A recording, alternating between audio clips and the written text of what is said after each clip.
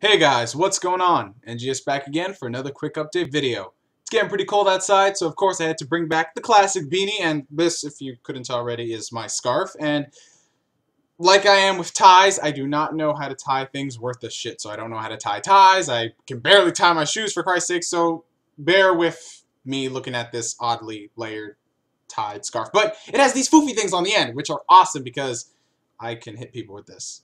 Actually hit my girlfriend one time pretty hard with these, and she actually started crying. But anyway, that, that's besides the point. For all the Kingdom Hearts fans out there, for the longest time we've been speculating on whether or not the Kingdom Hearts 1.5 HD Remix Collection will be making its way outside of Japan. There are reports and rumors and speculations that due to it being a PS2 game, there was no way for them to release it again. But then again, it didn't make sense considering there were other PS2 games that had secondary editions. And there was a lot of talks and Square Enix doing what they do best, not satisfying us, the gamer. I mean, they give you something. Something that you've always wanted, and boom, there's always a catch-22. There's always something in the end that it can't just be a happy ending. It, it, it just can't be. That's just always the case with Square Enix. Jesse McCartney, on the other hand, has something else to say. Jesse McCartney, for those of you who are aware or unaware, he is the English voice actor who provides the voice for Roxas as well as Ven in Kingdom Hearts Birth by Sleep. On Twitter, he accidentally confirmed that he was working on new dialogue for a Kingdom Hearts game. Now, let's put it all together. Number one, we don't know any of the new Kingdom Hearts games in development. They haven't announced anything for a sequel on the 3DS. They haven't announced anything for the Vita or the consoles yet. So we can rule it being a completely new game out of the water. Number two, we know that the Kingdom Hearts 1.5 HD Remix Collection, that's a mouthful, will feature a theater mode with cutscenes from 358 by 2 remastered in high definition. So we know that. Jesse McCartney is recording more vocal work for Kingdom Hearts.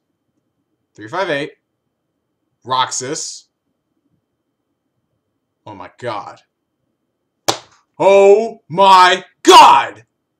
They're working on Call of Duty Modern Warfare 4! Man, I fucking knew it. This is some crazy shit right here. But now, seriously, guys, accidental or not, this pretty much confirms that the Kingdom Hearts Remix Collection will be making its way outside of Japan hopefully a worldwide localization and not just America, because that would suck for the Europeans. That really would. But uh, this does make me happy that we do have more concrete confirmation on it. I know it's something that is obvious considering the fact that Square Enix, Kingdom Hearts, it's one of their most lucrative franchises to date.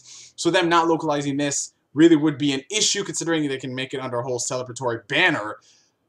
But then again, you got to think it is Square Enix, and they do have a track record of not localizing games, even though we really, really desperately want them.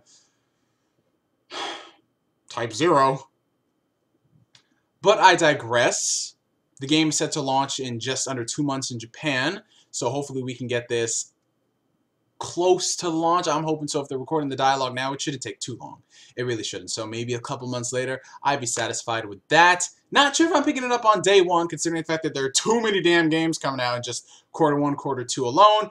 But we'll just have to see. So what do you guys think about this? Are you excited for it? Are you glad to see that Jesse McCartney is back in there? Do you like Jesse McCartney based solely on the fact that he voices Roxas? Do you? Do you? Do you? Who, do you do, who does he do better as? Roxas or Ven? Let me know in the comment section below. And yes, Walter, I do do a lot with my hands. I'm a very animated person, and I, yeah, I should have done silent movies back in the day. I would just be so expressive with all the stuff that I could do. Convey the point. Anyway, I'm getting sidetracked. I am GS signing out, and like always, I will catch you guys later. Peace.